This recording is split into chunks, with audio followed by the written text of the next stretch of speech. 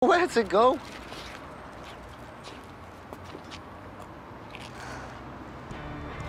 Last chance, Dylan. Just take the money. You always did love the cashbacks. What did you do that for? Because I don't need your money and I don't need you. You didn't need to throw it off the building. There's nearly a grand there. Just go back to London.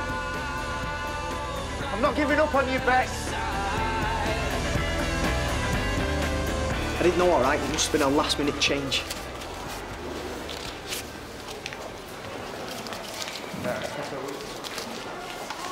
You. I've got budgeon to swap tests. Okay, so I kinda did. You know what, Janice? I'm going to give you this one, yeah?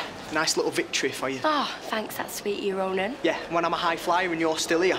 Comfort you, won't it? Um, well, what's to say I'm not gonna have the same career as you? You've got no education, Janice. This is it for you.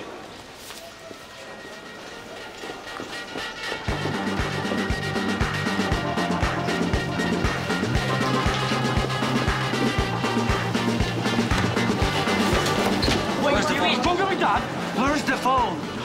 All right, calm down now. Where's the phone? Mr. Wisniewski! Let him go! My office, now. You too, mine.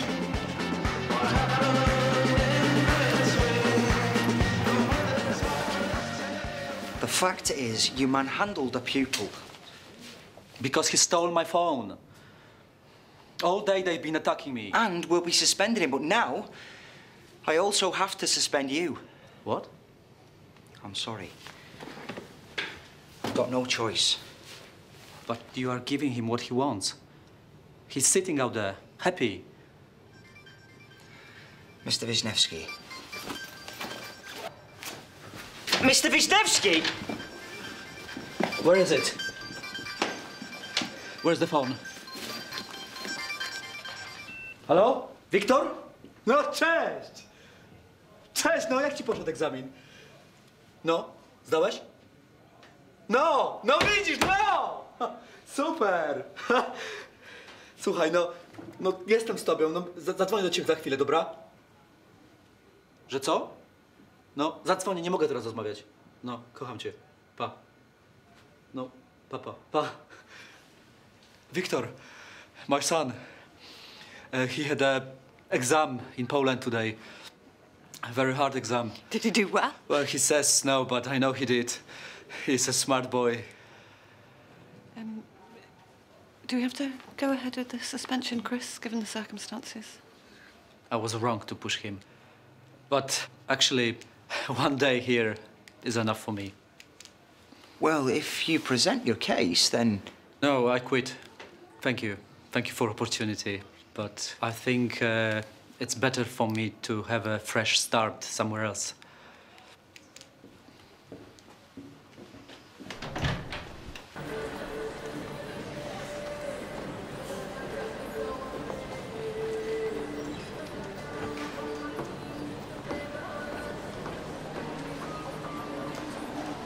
Where the hell did you get off to?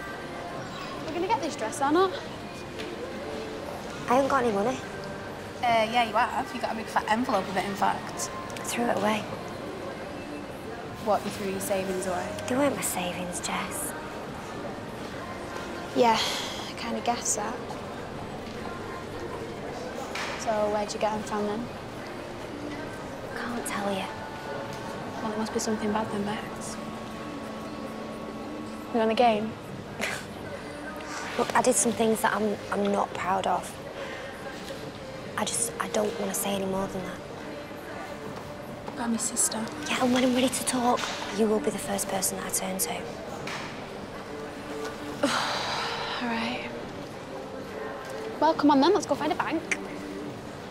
We're going out tonight, aren't we? And you've got no money, so I'm paying. Can you afford it? Yeah. Got my savings, Anna.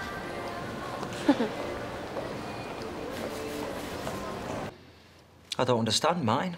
I'm not saying you're the perfect pupil, but you're smart. You've got a future. Shooing for university if you work hard. Well, Dad says university's overrated. And what do you think? You know? Probably just stay around here. I'll get a job when I leave school. Right. So you'll just throw away your education then? Well, my dad never had one. He'd have been fine if he got this job, wouldn't he? And cause your dad didn't get the job, that makes it okay for you and Kyle to harass Mr. Wisniewski. I didn't say nothing about Kyle. We know Kyle was involved. We're not stupid. Okay. One week suspension for you, starting from now. You go and you apologise to Mr. Wisniewski, and then you go home.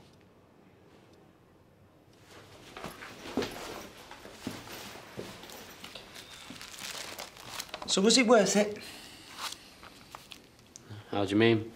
You got rid of Mr. Wisniewski. You must be happy with the result. I'm just sticking up for my dad, sir. Well, all the trouble you've caused today, I'm sure your dad would be very proud.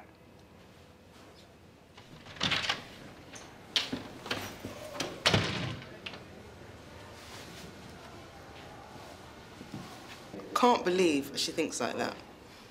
And again, Ruby never was the most tolerant. Worst thing is she actually believes she's right. Well, she's the only one. Must be hard, I suppose. When you think something's right and everyone says it's wrong. Uh, not really. I usually bug everyone until they see it my way.